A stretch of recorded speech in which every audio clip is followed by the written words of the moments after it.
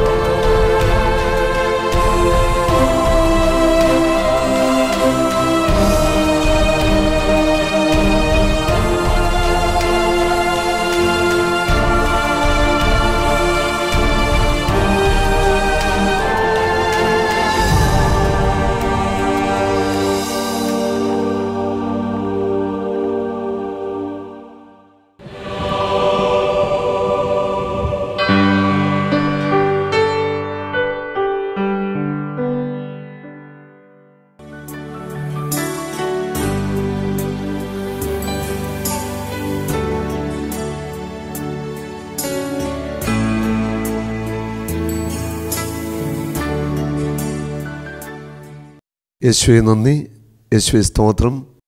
ഹാലലുയ നമുക്ക് ദൈവസനത്തിലേക്ക് കരങ്ങളൊന്ന് ഉയർത്തിപ്പിടിച്ച് കർത്താവിന്റെ കരുണയ്ക്ക് വേണ്ടി പ്രാർത്ഥിക്കാം. അധരങ്ങൾ തുറന്ന് ഹൃദയം തുറന്ന് യേശുവിന്റെ നാമത്തെ വിളിച്ച് കരുണ ചുരിയപ്പെടാൻ നമുക്ക് പ്രാർത്ഥിക്കാം. ഹാലലുയ ഹാലലുയ യേശുവേ ഞങ്ങളുടെ മേൽ കരുണയായിരിക്കണമേ. ഞങ്ങളും ഞങ്ങളുടെ പിതാക്കന്മാരും പൂർവികരും ചെയ്ത പാപങ്ങൾ ക്ഷമിക്കണം. കഥാവി ഞങ്ങൾ ഓരോരുത്തരും വ്യക്തിപരമായിട്ട് ചെയ്തു പോയിട്ടുള്ള സകല പാപങ്ങളെ ക്ഷമിച്ച് ഞങ്ങളുടെ കരുണയായിരിക്കുന്നു. ഞങ്ങളുടെ കുടുംബങ്ങളുടെ മേൽ ഞങ്ങളുടെ ശുശ്രൂഷ മേഖലയുടെ മേൽ കരുണയായിരിക്കുന്നു. ഞങ്ങളുടെ തൊഴിൽ മേഖലയുടെ മേൽ കരുണയായിരിക്കുന്നു. ഞങ്ങളുടെ വരുമാന മാർഗങ്ങൾ ഞങ്ങളുടെ മക്കളുടെ ആവശ്യങ്ങൾ ജീവിതത്തിന്റെ എല്ലാ മേഖലകളിലും കഥാവിന്റെ കരുണയൊഴുകട്ടെ യേശുവേ എല്ലാം അങ്ങയുടെ കരുണയാണ് എല്ലാം അങ്ങയുടെ ദയാണ് അങ്ങയുടെ മുൻപിൽ ഞങ്ങൾ നിലവിളിച്ചു പ്രാർത്ഥിക്കുന്നു. കരുണ ചൊരിയണമേ. ഹാലലുയ ഹാലലൂയ യേശുവേ സ്തോത്രം. യേശുവേ നന്ദി. യേശുവേ സ്തോത്രം. യേശുവേ നന്ദി. യേശുവേ സ്തുതി. രണ്ടാഴ്ച മുൻപ് നടന്ന ഒരു ധ്യാനത്തിൽ ഒരു മകൾ എന്റെ അടുക്കൽ പ്രാർത്ഥിക്കാനായിട്ട് വന്നു. അവളെ ഡിഗ്രിക്ക് പഠിക്കുന്നു. അവൾ ഒത്തിരിയേറെ ഹൃദയം തകർന്ന് മനസ്സു നൊന്ത്. ജീവിതത്തിന് എല്ലാ പ്രതീക്ഷകളും നഷ്ടപ്പെട്ട അവസ്ഥയിലാണ് പ്രാർത്ഥിക്കാനായിട്ട് വന്നത്. അവളുടെ ഹൃദയത്തിലെ ദുഃഖങ്ങൾ പങ്കുവച്ചു. അവളുടെ പിതാവ് ആത്മഹത്യ ചെയ്തു. അമ്മയുണ്ട് ഒരു ചേച്ചിയുണ്ട്. പിതാവ് ഒരു ബിസിനസ്സുകാരനായിരുന്നു. പിതാവിന്റെ സഹോദരങ്ങൾ അവരൊക്കെ ബിസിനസ്സുകാർ എല്ലാവരും സമ്പന്നർ. ഈ മകൾ ഇപ്രകാരം പറഞ്ഞു എന്റെ പപ്പായുടെ ബിസിനസ് തകർന്നു. ഭാരിച്ച കടബാധ്യത. രക്തബന്ധത്തിൽപ്പെട്ട സഹോദരങ്ങൾക്ക് വായ്പ വാങ്ങിയ പണം കൊടുക്കുവാനുണ്ട്. എല്ലാവരും നിർബന്ധിക്കാൻ തുടങ്ങി. മറ്റൊരു സ്ഥലത്തേക്ക് മാറി ഒരു ചെറിയ ബിസിനസ് ആരംഭിച്ചു. അതും പരാജയപ്പെട്ടു. പണം കൊടുത്തു വിട്ടാനുണ്ട്. ലഭിക്കാനുള്ളവർ നിരന്തരമായിട്ട് സമ്മർദ്ദം ചെലുത്തി കഴിഞ്ഞപ്പോൾ തിരിച്ച് സ്വന്തം രക്തത്തിൽപ്പെട്ട സഹോദരങ്ങൾ തന്നെ നിരന്തരമായിട്ട് പണം കൊടുക്കുവാനുള്ളത് ചോദിച്ച് ബുദ്ധിമുട്ടിച്ചപ്പോൾ എന്റെ പിതാവ് ആത്മഹത്യയിൽ ആശ്രയിച്ചു. ആ പെൺകുട്ടി പറയുകയാണ് എന്റെ പപ്പ എന്റെ മമ്മിയെയും ഞങ്ങൾ മക്കൾ രണ്ടുപേരെയും ഒത്തിരി സ്നേഹിച്ചിരുന്നു. നല്ലൊരു പിതാവായിരുന്നു. മദ്യപാനമോ പുകവലിയോ ഒന്നുമില്ലൊരു സാധാരണ നല്ലൊരു വിശ്വാസി എന്ന് പറയാം. അവൾ പറയുന്നു എന്റെ പിതാവ് പ്രത്യാശ നഷ്ടപ്പെട്ട് പ്രതീക്ഷകൾ നഷ്ടപ്പെട്ട് ആത്മഹത്യക്കിലേക്ക് പോയതിന്റെ പിന്നിൽ എന്റെ പിതാവിന്റെ കുടുംബത്തിലുള്ളവർ തന്നെയാണ്. അവരൊരു ശകലം കാരുണ്യം കാണിച്ചെങ്കിൽ അവരൊന്ന് സഹായിക്കാൻ തയ്യാറായിരുന്നുവെങ്കിൽ ഒരുപക്ഷേ എന്റെ പപ്പ ആത്മഹത്യ ചെയ്തില്ലായിരുന്നു. കണ്ണുനീരോടെ അവൾ അവളുടെ ദുഃഖങ്ങൾ പങ്കുവച്ചു. ധ്യാനാവസരത്തിൽ സ്തുതിപ്പിന്റെ സമയത്ത് അവൾ വാവിട്ടു നിലവിളിക്കുന്നത് കണ്ടു. നോക്കുക. പ്രത്യാശ നഷ്ടപ്പെട്ട് ജീവിതത്തിൽ തകർച്ചയിലൂടെ കടന്നു പോകുമ്പോൾ ഒരിക്കലും നമ്മൾ ആത്മഹത്യയെക്കുറിച്ച് ചിന്തിക്കരുത്. ചിന്തിക്കാനായിട്ട് പാടില്ല.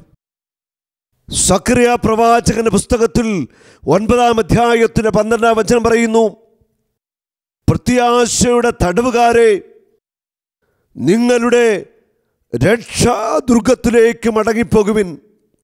നിങ്ങൾക്ക് ഇരട്ടി മടക്കി തരുമെന്ന് ഞാൻ പ്രഖ്യാപിക്കുന്നു. പ്രത്യാശയുടെ തടവുകാരെ പ്രത്യാശ നഷ്ടപ്പെട്ടു. തടവറയിൽ അകപ്പെട്ടതുപോലെ ജീവിക്കുന്ന മനുഷ്യൻ വഴികളെല്ലാം അടഞ്ഞുപോയി. മുൻപിൽ സാധ്യതകളൊന്നുമില്ല. സഹായിക്കേണ്ടവരെ സഹായിക്കാനില്ല.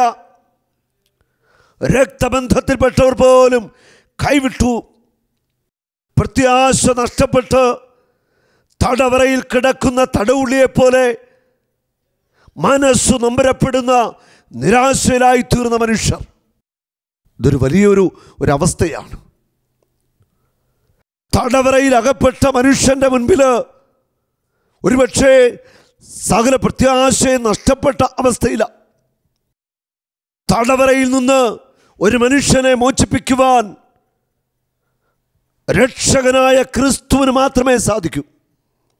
പ്രത്യാശയുടെ തടവുകാരെ നിങ്ങളുടെ രക്ഷാദുർഗത്തിലേക്ക് മടങ്ങിപ്പോകുവിൻ. പ്രത്യാശ നഷ്ടപ്പെട്ടവരുടെ പ്രതീക്ഷ നഷ്ടപ്പെട്ടവരുടെ ആയുസ്സിന് വൈദ്യശാസ്ത്രം അവധി വെച്ചിരിക്കുന്നവരുടെ പ്രത്യാശ കർത്താവായ യേശു ക്രിസ്തു മാത്രമാ. രക്ഷാദുർഗത്തിലേക്ക് മടങ്ങിപ്പോകുക. നമ്മുടെ രക്ഷാദുർഗം യേശു ക്രിസ്തുവാണ് ലോകത്തിന്റെ രക്ഷകനായ യേശു ക്രിസ്തുവ നമ്മുടെ രക്ഷാദുർഗം. ആ രക്ഷാദുർഗത്തിലേക്ക് മടങ്ങി വരുന്ന ഒരു വ്യക്തിയും തകർന്നു പോകത്തില്ല. ഇന്നത്തെ പത്രത്തിൽ ഞാൻ വായിച്ച ഒരു വാർത്തയാണ് സങ്കടം തോന്നി. എൺപത്തിരണ്ട് വയസ്സുള്ളൊരു മനുഷ്യൻ തന്റെ ശരീരത്തിൽ കല്ലുകൾ കെട്ടിവെച്ചിട്ട് പുഴയിലേക്ക് ചാടി ആത്മഹത്യ ചെയ്തു. ആ മനുഷ്യന് നീന്തറിയാമായിരുന്നുവെന്ന പത്രത്തിൽ എഴുതിയിരിക്കുന്നു. രക്ഷപ്പെടാതിരിക്കാൻ വേണ്ടി ശരീരത്തിന് കല്ലുകൾ കെട്ടിവെച്ചിട്ട് പുഴയിലേക്ക് ചാടി പുഴയുടെ ആഴങ്ങളിലേക്ക് മുങ്ങിയ ആ മനുഷ്യൻ മരിച്ചു. എൺപത്തിരണ്ട് വയസ്സുള്ള ഈ മനുഷ്യൻ എന്തിന് ആത്മഹത്യ ചെയ്തത്? ഒരുപക്ഷേ ജീവിത പങ്കാളി കടന്നുപോയിട്ടുണ്ടാവാം. മക്കൾക്കും കൊച്ചുമക്കൾക്കും വേണ്ടായിരിക്കാം. സ്നേഹിക്കാനോ സ്നേഹം കൊടുക്കുവാനോ ആരുമില്ലാത്ത അവസ്ഥയിലായിരിക്കാം ആ എൺപത്തിരണ്ട് വയസ്സുള്ള വയോധികനായ മനുഷ്യൻ ആത്മഹത്യ ജീവിതം അവസാനിപ്പിച്ചത്. പ്രതീക്ഷ നഷ്ടപ്പെടുമ്പോൾ പ്രത്യാശ നഷ്ടപ്പെടുമ്പോൾ വഴികളെല്ലാം അടഞ്ഞുപോയി എന്ന് നമ്മുടെ മനസ്സ് പറയുമ്പോൾ ക്രൂശിതന്റെ മുഖത്തേക്ക് നമ്മുടെ കണ്ണുകൾ ഉയർത്തണം. പ്രത്യാശയുടെ തടവുകാരെ നിങ്ങൾ മടങ്ങി വരിക. ക്രിസ്തുവിലേക്ക് മടങ്ങി വരിക. അവനാണ് രക്ഷാദുർഗം. ആ രക്ഷാദുർഗത്തിൽ അഭയം തേടിയിട്ടുള്ള ആർക്കും ലജ്ജിക്കേണ്ടി വന്നിട്ടില്ല. അവന്റെ പിന്നാലെ പോയ ഒറ്റ വ്യക്തികൾക്ക് പോലും ജീവിതത്തിൽ ലജ്ജിക്കാൻ ഇടവരത്തില്ല. ശക്തിയുള്ള ഉറപ്പുള്ള കോട്ടയാണ് ക്രിസ്തു. പ്രതീക്ഷ നഷ്ടപ്പെട്ടവരും ജീവിതത്തിൽ എല്ലാം തീർന്നു എന്ന് വിചാരിക്കുന്നവരും മുറിവേറ്റ ക്രിസ്തുവിലേക്ക് നോക്കുക. ക്രൂശിതന മുഖത്തേക്ക് നോക്കുക. അവൻ നിന്നെ കൈപിടിച്ചുയർത്തും. രക്ഷാദുർഗത്തിലേക്ക് മടങ്ങിപ്പോകാനാ പറയുന്നത്. റോമാലേഖനം അഞ്ച് അഞ്ചിൽ പറയുന്നു പ്രത്യാശ നമ്മെ നിരാശരാക്കുന്നില്ല. പിതാവായ ദൈവം പരിശുദ്ധാത്മാവിലൂടെ ദൈവസ്നേഹം നമ്മിലേക്ക് ചൊരിയ. നമ്മുടെ ജീവിതത്തിൽ പ്രത്യാശ നഷ്ടപ്പെടരുത്. പ്രത്യാശയുള്ള മനുഷ്യന് നിരാശപ്പെടേണ്ടി വരത്തില്ല. ദൈവം പരിശുദ്ധാത്മാവിലൂടെ ദൈവത്തിന്റെ സ്നേഹം നമ്മിലേക്ക് നിറയ്ക്കും.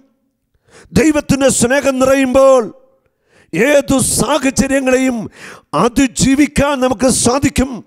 ദൈവത്തിന്റെ സ്നേഹം നമ്മിലേക്ക് നിറയ്ക്കുന്നത് ദൈവത്തിന്റെ ആത്മാവാണ് നമ്മുടെ ഉള്ളിൽ വസിക്കുന്ന ദൈവത്തിന്റെ ആത്മാവ് സ്നേഹം നമ്മളെ നിറയ്ക്കും ശക്തി നിറയ്ക്കും. നമ്മളെ ദൈവത്തിന്റെ ആത്മാവാണ് ബലപ്പെടുത്തുന്നത്.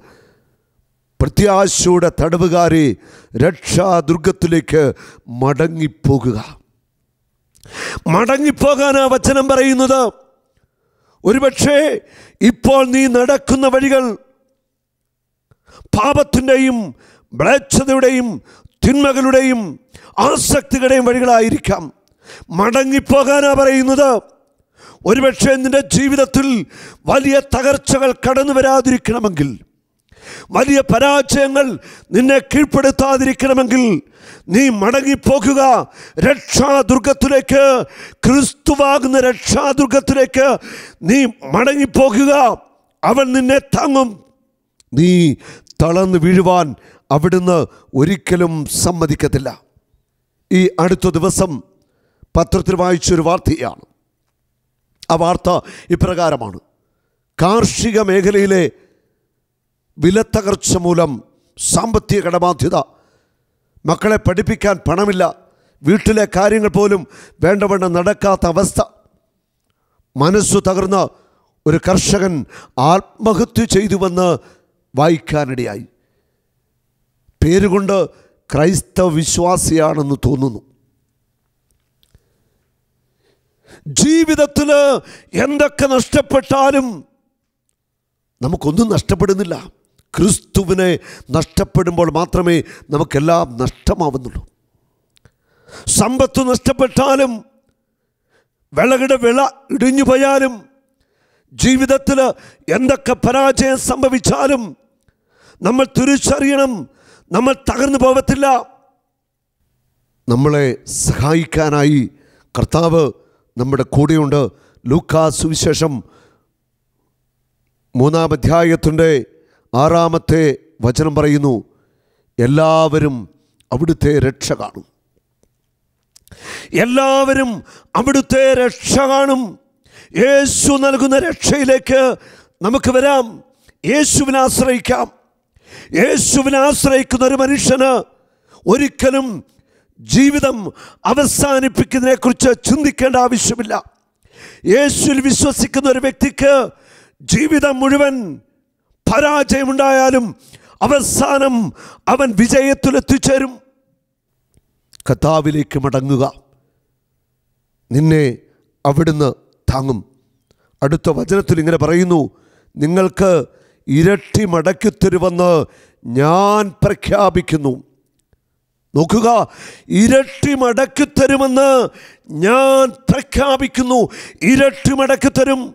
ലുക്കാസ് വിശേഷത്തിൽ ആറാം അധ്യായത്തിന്റെ മുപ്പത്തി എട്ടാമത്തെ വചനത്തിൽ ഇങ്ങനെയാണ് പറയുന്നത് കൊടുക്കുവിൻ നിങ്ങൾക്ക് കിട്ടും. അമർത്തിക്കുലുക്കി നിറച്ചളന്ന് അവർ നിങ്ങളുടെ മടിയിൽ ഇട്ടുതരും. കൊടുക്കുവിൻ നിങ്ങൾക്ക് കിട്ടും. ഉള്ളതിൽ പങ്ക് കൊടുക്കുവാൻ ഇല്ലെങ്കിൽ പോലും ഉള്ളതിൽ പങ്ക് കൊടുക്കുവാൻ കണ്ടെത്തുന്ന മനുഷ്യന് വചനം പറയുന്നു അമർത്തിക്കുലുക്കി നിറച്ചളന്ന് അവൻ നിന്റെ മടിയിലേക്ക് ഇട്ടുതരും. അമർത്തിക്കുലുക്കി നിറച്ചളന്ന് അവൻ സമാധാനം തരും സന്തോഷം തരും അനുഗ്രഹം തരും സാമ്പത്തിക മേലെ ഉയർച്ച തരും. ആത്മീയ കൃപാവരങ്ങൾ അമർത്തിക്കുലുക്കി നിറച്ചളന്ന് അവൻ നിനക്ക് തരാനായിട്ട് പോകുക. പ്രത്യാശ നഷ്ടപ്പെട്ട് തടവറയിലായിരിക്കുന്നവർ തടവറ പൊട്ടിച്ച് കർത്താവിങ്കിലേക്ക് തിരിച്ചു വരിക. അമർത്തിക്കുലുക്കി നിറച്ചളന്നു തരുന്നവൻ കർത്താവായ ക്രിസ്തു ഇവിടെയുണ്ട്. അവന്റെ നാമത്തെ ഒന്ന് വിളിച്ചപേക്ഷിക്കുവാൻ അവന്റെ നാമത്തെ ഒന്ന് ആരാധിക്കുവാൻ സ്തുതിക്കുവാൻ നീ തയ്യാറായിക്കൊള്ളുക. ഇരട്ടി പങ്ക് അവൻ നിങ്ങൾക്ക് മടക്കിത്തരും നിങ്ങൾക്ക് ഇരട്ടി പങ്ക് മടക്കിത്തരുമെന്ന് ഞാൻ പ്രഖ്യാപിക്കുന്നു. ഞാൻ പ്രഖ്യാപിക്കുന്നു. ഏശയ്യ നാൽപ്പത്തിയാറ് ഒൻപത്. ഞാനാണ് ദൈവം. ഞാനല്ലാതെ മറ്റൊരുവനില്ല. ഞാൻ തന്നെ ദൈവം എന്നെ പോലെ മറ്റൊരുവനില്ല. എന്റെ ഉപദേശങ്ങൾ നിലനിൽക്കും. എന്റെ ഉദ്ദേശങ്ങൾ ഞാൻ നിറവേറ്റും. ഞാനാണ് ദൈവം. ഞാനല്ലാതെ മറ്റൊരു ദൈവമില്ല. ഞാൻ തന്നെ ദൈവം. എന്റെ ഉപദേശങ്ങൾ നിലനിൽക്കും. എന്റെ പദ്ധതികൾ നിലനിൽക്കും. എന്റെ ഉദ്ദേശങ്ങൾ നിലവേറും. കർത്താവിന്റെ കരങ്ങളിലേക്ക് നമുക്ക് മുറുകെ പിടിക്കാം. ബലമുള്ള കരങ്ങൾ ആ കരങ്ങൾ നിന്നെ താങ്ങും. നീ നീ തകർന്നു പോകുവാൻ കർത്താവ് സമ്മതിക്കത്തില്ല. ഹലലുയ പ്രത്യാശയുടെ തടവറ പൊട്ടിച്ചുകൊണ്ട് നമുക്ക് പുറത്തേക്ക് വരാം. കല്ലറ പിളർത്തി മൂന്നാം ദിവസം പുറത്തു വന്നവനായ ക്രിസ്തു അവന്റെ മുഖത്തേക്ക് നോക്കാം. അവനെ നമുക്കൊന്ന് സ്തുതിച്ച് ആരാധിക്കാം. എല്ലാവരും കരങ്ങൾ ഉയർത്തി കർത്താവിനെ ആരാധിച്ച് സ്തുതിക്കട്ടെ. ഹാലലുയാ ഹാലലുയ യേശുവേ സ്തോത്രം യേശുവേ നന്ദി. പരിശുദ്ധാത്മാവേ നന്ദി. ഹാലലുയ്യ കർത്താവേ ഹൃദയത്തിൽ നിരാശപ്പെട്ടിരിക്കുന്ന വ്യക്തികളെ അങ്ങ് സ്പർശിക്കണമേ. ഹൃദയത്തിന് നിരാശ ദുഃഖപീഠകൾ ഉത്കണ്ഠകൾ ഭയങ്ങൾ യേശുവിന്റെ നാമത്തിൽ വിട്ടുമാറട്ടെ. ആത്മാവിന്റെ ശക്തി കൊണ്ട് നിറയട്ടെ. അഭിഷേകം നിറയട്ടെ. ധൈര്യവും പ്രത്യാശയും നിറയട്ടെ. ഞാനാണ് ദൈവം.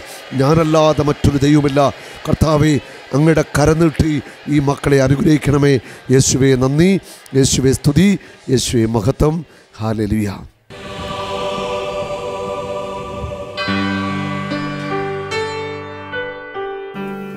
അമ്മച്ചിയുടെ പേരെന്താ? സ്ഥലം എവിടെയാ? എന്തായിരുന്നു? എന്ത് പറ്റിയായിരുന്നു? അസുഖം എന്തായിരുന്നു? ആ അമ്മച്ചിയുടെ ഏണിന് എന്ത് പറ്റി? ഈ കാൽ ഏണ് കൂട്ടി ഞരമ്പ് വലിഞ്ഞു കൂട്ടിയിട്ട് വീഴുന്ന ഒരു പ്രയാസം പ്രയാസമായിരുന്നു അമ്മച്ചിക്കുണ്ടായിരുന്നത്. അപ്പോൾ ഈ ഭാഗം കൂട്ടിയുള്ള കർത്താവിന്റെ ഒരു സ്പർശനമുണ്ടായി. നട്ടലിന് ഓപ്പറേഷൻ പറഞ്ഞിരിക്കുകയാണ്. നടു തളർന്നു പോകത്തില്ല. ഡോക്ടർ പറഞ്ഞത് വിശ്വസിക്കണ്ട. അല്ലേ കാലൊക്കെ തുറച്ചു കൊടുത്ത അമ്മച്ചി. ഇപ്പോൾ നടുവിന് വേദന തോന്നുന്നുണ്ടോ? ഇല്ല കരമടിച്ചു. നന്ദി പറയട്ടെ. ഹാലരിയോ ഒന്നുകൂടെ കുഞ്ഞു കാണിച്ചേ. എന്ന് പറഞ്ഞേ തിരിഞ്ഞേ. ആ കാലത്ത് വരച്ചുകൂടെയാവോ കാലത്ത് വരച്ച് ആ. മുട്ടിനകത്ത് വെള്ളം രണ്ട് വെള്ളം ഒഴിച്ചു. അഞ്ച് വർഷമായി. മുട്ടിന് പത്ത് ലക്ഷം രൂപ വേണം മാറി പറഞ്ഞു. ഞാൻ മുട്ടിന് പത്ത് ലക്ഷം രൂപ മാറി വെക്കാൻ വേണമെന്ന് പറഞ്ഞിരിക്കുക ഭർത്താവിന് കരളിന് വീക്കമായിട്ട് എട്ട് മാസമായിട്ട് വീട്ടിൽ പോയി ഇരിക്കുവാണ് അപ്പോൾ എന്റെ മരുന്ന് നിർത്തി. അപ്പോൾ എനിക്ക് തളർച്ച തുടങ്ങി ശരീരം മൊത്തം തളർച്ച തുടങ്ങി. ഞാൻ ചിറ്റടിയിൽ വന്ന് പ്രാർത്ഥന കണ്ട് ഒരു കൈത്താരെ വെച്ചൊന്ന് പ്രാർത്ഥിച്ചു. എന്റെ തോളം അമ്മച്ചുടെ അമ്മച്ചിയുടെ കൈ അത് ചിറ്റടിയിലെ ഏകദിന കൺവെൻഷൻ വന്നപ്പോൾ പ്രാർത്ഥിച്ചു. അപ്പോൾ തന്നെ കൈ കൈ പൊക്കത്തിന് കൈ പൊങ്ങരുന്ന് കൈ അന്നേരം ഉയർത്തി. ഹാലലുയ ഛർദി വരും തലകറക്കം വരും. ക്യാൻസറിന്റെ ആരംഭമായിരിക്കും ഞാൻ പറഞ്ഞു ദൈവമല്ല? ഞാൻ മരിക്കുള്ളൂ ദൈവത്തിനെ വിളിക്കും. ആ കച്ചിത്തരുമ്പ് മാത്രമേ ഉള്ളൂ. ഒന്നോടെ ഞാൻ പോയി നോക്കണ്ടെന്ന് പറഞ്ഞു. ഭർത്താവിന് മരുന്ന് കൊടുക്കാൻ തുടങ്ങിയപ്പോൾ എനിക്ക് കൂടുതലായി എനിക്ക് ചികിത്സയില്ലാതെയായി ഇപ്പോൾ ശരിക്കും പതിനെട്ട് കൊല്ലമായി. ഞാനത് ഇപ്പോൾ അഞ്ച് മാസം കഴിഞ്ഞ് എനിക്ക് തളർച്ച ശരീരത്തിന് കയ്യും കാലും വിലവില്ലാതെ വീഴും. കൈയും കാലും ബലമില്ലാതൊക്കെ അമ്മച്ചി വീഴുന്ന ഒരു പ്രയാസത്തിലായിരുന്നു. നമുക്ക് ആ സങ്കടം കണ്ടോ? നാൽപ്പതിനായിരം രൂപയുടെ ഒരു സ്കാനിങ് എഴുതി തന്നു. കോട്ടയത്ത് മംഗളത്ത് ചന്തം പറഞ്ഞു വെച്ച് സ്ഥലം വിൽക്കേണ്ടി വരുമല്ലോ. ഞാൻ പറഞ്ഞു, സ്ഥലമോട് നിൽക്കുന്നില്ല ഞാൻ ഒരു പോകാം ഡോക്ടർ എന്ന് പറഞ്ഞു മാത്തു ഡോക്ടർ പിന്നെ ദീപക് എന്ന് പറയുന്ന കാര്യത്താസിലുള്ള നൂറോളി സർജൻ പറഞ്ഞു ചേച്ചി ഒരു കവുന്ന ഇല പോലും എടുക്കരുത് ഡോക്ടർ ഒരു ഇല പോലും എടുക്കരുത് കുനിഞ്ഞവരെ എല്ല പോലും എടുക്കരുതെന്ന് പറഞ്ഞു വിട്ടിരുന്ന വ്യക്തിയാണ് ഞാൻ പറയും വേറെ വീട്ടിൽ കഞ്ഞി ചൂടാൻ വെക്കണം ഭർത്താവ് രോഗിയാന്ന് പറഞ്ഞു ഒന്നും ചെയ്യരുതെന്ന് പറഞ്ഞു. എന്നുവെച്ച് കഴിഞ്ഞ ചൊവ്വാഴ്ച ഞാൻ ടി വിക്കകത്ത് ബ്രദറിന്റെ പ്രാർത്ഥന കേട്ടപ്പോൾ ഒന്നോടെ ഞാനിങ്ങനെ കൈ വെച്ച് പ്രാർത്ഥിച്ചാണ് കാരിദാസിലെ സ്കാനിങ്ങിനായിട്ട് പോകുന്നത്. അപ്പം പറഞ്ഞു പ്രാർത്ഥന പോയിടും ചേച്ചിയുടെ വിശ്വാസം ഇപ്പം ചെയ്യണ്ടെന്ന് പറഞ്ഞു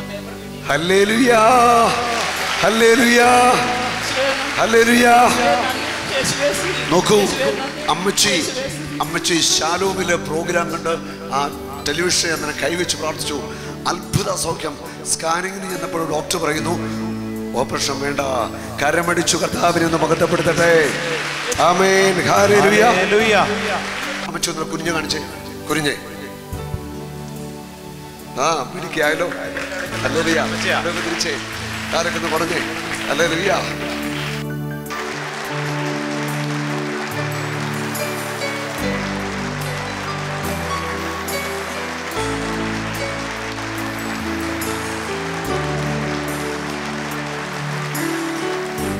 അതായത് അമ്മച്ചു പറയുന്നു അമ്മച്ചിയുടെ ഭർത്താവിന്റെ വയറ് വീർക്ക കരളിന്റെ അസുഖമായിരുന്നു. വർഷങ്ങൾക്ക് മുമ്പ് അരുവിത്രപ്പള്ളിയിൽ ഞാൻ ഒരു നൈറ്റ് വിജിൽ നടത്തി. അന്ന് അന്നത്തെ സൗഖ്യ പ്രാർത്ഥനയിൽ അമ്മച്ചിയുടെ ഭർത്താവിനെ കർത്താവ് തൊട്ടു. ആ കരളിന്റെ അസുഖം പൂർണമായിട്ട് സൗഖ്യമായി. ഒരു ദിവസം അഞ്ഞൂറ് രൂപയുടെ മരുന്ന് വേണമെന്ന് കഴിച്ചിരുന്ന അന്ന് നിർത്തിയെന്ന കരമടിച്ചു നന്ദി പറയട്ടെ. എന്നെ അവിടെ കൊണ്ട് വിട്ടു ജോലിക്ക് പോകുന്നുണ്ട്. എന്നെ പറഞ്ഞു വിട്ടു. അമ്മച്ചി വീട്ടിലുള്ളതുകൊണ്ട് വരാൻ അടുത്ത മാസം പുള്ളി പറഞ്ഞു വരും. ഞങ്ങൾ രണ്ടുപേരും കൂടെ വരും. സന്തോഷമായി. കരമടിച്ചു നന്ദി പറയട്ടെ. കരമുയർത്തി ഒന്ന് അടിച്ചേ. യേശുവെ നന്ദി. യേശുവെ സ്ത്രീ ഹല്ലേലൂയ